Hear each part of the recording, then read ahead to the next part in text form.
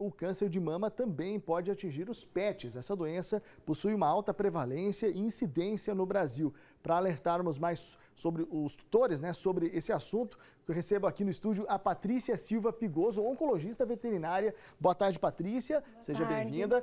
É, é um assunto que a gente quase não ouve falar. Logicamente que quem cuida do animalzinho de estimação geralmente recebe né, muitas informações, orientações né, lá do veterinário com os cuidados. Mas é importante os tutores prestarem, prestarem atenção a alguns indícios. É isso? Boa tarde. Exa exatamente. Boa tarde. Infelizmente, né, o tumor de mama, ele é muito frequente na nossa rotina. Então, eu como oncologista veterinário, eu trabalho só com essa área. O câncer de mama é o, é o tipo de câncer mais relevante realmente, né?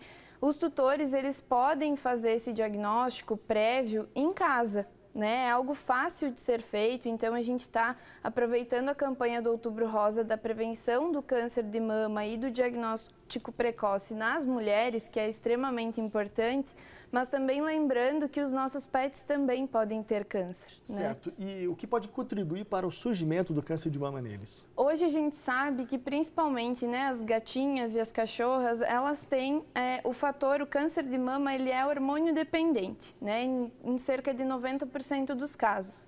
Então, a castração tardia, a aplicação daquelas injeções é, anti-sil, né, os progestágenos, acabam favorecendo o risco de desenvolvimento do câncer de mama. Então, a castração precoce, né? Nas cachorrinhas a gente indica entre o primeiro e o segundo cio e nas gatas é, até os seis, sete meses de idade com essa faixa etária, a gente consegue prevenir em mais de 90% o risco de desenvolvimento de câncer de mama. E existe alguma raça em que isso pode acontecer mais? Ou, ou isso indifere, indifere da, da, raça, enfim? Indifere da raça. Hoje a gente vê de todas as raças, realmente, assim, uhum. é bem diferente. E como que o tutor pode detectar ou perceber, de repente, que tem ali uma certa anomalia, algo que pode levar uhum. à incidência? Hoje a gente recomenda que o tutor faça a palpação mensal da cadeia mamária das gatas e cadelas, né?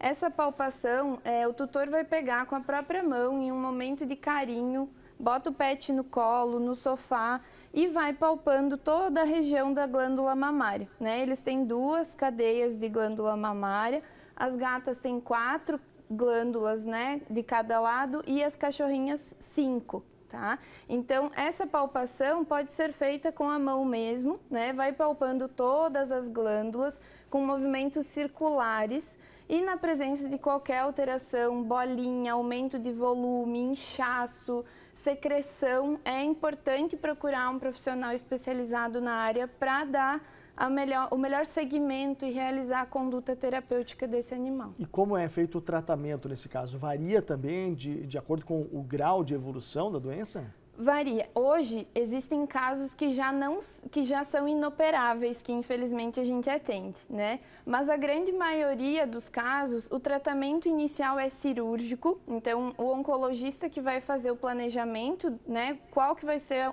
a melhor conduta cirúrgica para esse paciente em alguns casos, é necessário também, além da cirurgia, a quimioterapia após o procedimento, né, após a cirurgia. Certo. Isso vai depender conforme o grau do tumor, né? Uhum. Então, quanto mais agressivo, piores, pior é a uhum. evolução, né? E é por isso que o diagnóstico precoce é tão importante. Quando se detecta no início, as chances de cura são altíssimas. Certo. Bom, você já deu uma dica ali no começo da nossa entrevista sobre como evitar, mas existem algumas outras maneiras ou dicas de é, se mitigar qualquer tipo de risco para isso? Infelizmente, a gente está lidando com câncer, né? Tá. E biologia não é matemática, né? A, a prevenção principal que a gente fala é realmente a castração precoce e não aplicar de jeito nenhum aquelas injeções anti-sil, né? Uma aplicação aumenta em 100% o risco de desenvolvimento de câncer de mama. A gente já viu vários cãezinhos e gatos, por exemplo, eles terem aquelas aquelas bolinhas que são os tumores, né? Inclusive eu na minha família já tive uhum. isso também, né? é, justamente por isso, né? De repente vai no lugar onde também não é muito adequado, alguém indica, compra de qualquer maneira, aplica de qualquer maneira. Exatamente, é. né? Existem também tumores de aplicação de vacina, então a gente tem que estar atento a qualquer nódulo, qualquer alteração no corpo do nosso pet. O que se vê mais, tumor em cão ou gato? A minha rotina é mais em cão, é mais em cão, mas tem gato bastante também. E ele acaba, acaba interferindo isso na rotina dele também, por exemplo, deixar o cãozinho um pouco mais quieto, o que era antes brincalhão não fica mais. Isso também é um indicativo de que alguma coisa pode estar errada ali. Com certeza, é bom sempre investigar, né? É, hoje a gente vê alterações no paciente oncológico, né? É, o paciente que tem câncer, geralmente ele fica mais decaído, caidinho, com sinais clínicos, quando o câncer já está em estágio mais avançado. Então, por isso que qualquer alteração, qualquer bolinha é bom investigar no início. Legal, bom prestar atenção muito, né?